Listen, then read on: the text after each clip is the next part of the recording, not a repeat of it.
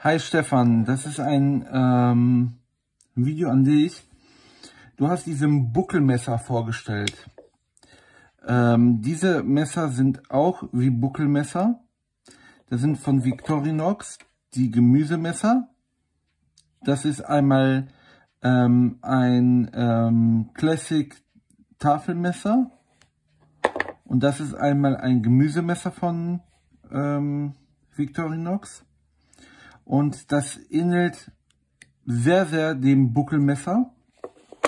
Und jetzt zeige ich dir mal, wie dünn da die Klingen sind. Da sind die Klingen noch dünner als bei dem, den du, den du gezeigt hast. Und der Stahl ist nicht viel besser.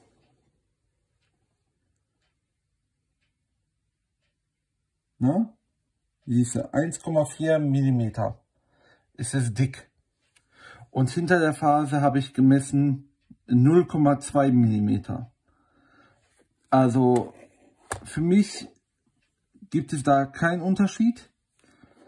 Und bei diesem Messer, da messe ich mal auch die Klingendicke. Zeige ich dir gleich. Moment.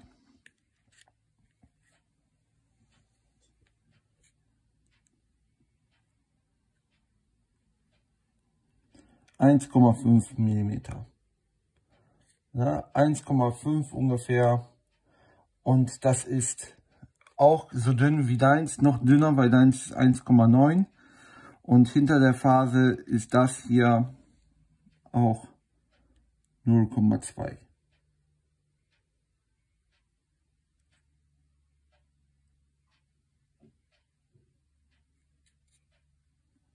Hinter der Phase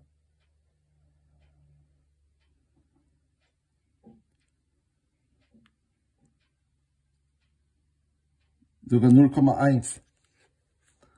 Ja, warte mal, nochmal gemessen. Direkt hinter der Phase.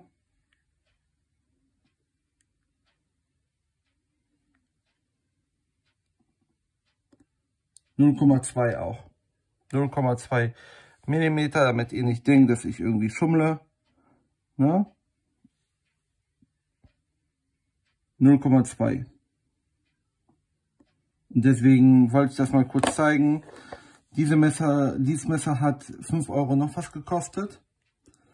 Ähm, und das habe ich von meiner Mutter gekauft für die Küche. Und das habe ich selber für Frühstück für die Arbeit. Und dann zeige ich euch mal kurz, wie scharf dieses ist. Es ist auch sehr scharf. Ja, also man kann es sehr leicht nachschärfen mit einem CC4 ähm, und ganz ehrlich und abziehen ähm, auf äh, Jeans und dann hat man praktisch ein ultrascharfes Messer.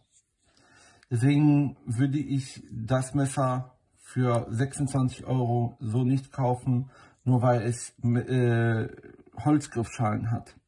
Ne? Und der 15 MOV äh, ist nicht besser als der Victorinox Stahl, finde ich zumindest. Weil ich hatte ihn auch schon mal und der ist auch sehr schnell stumpf gegangen.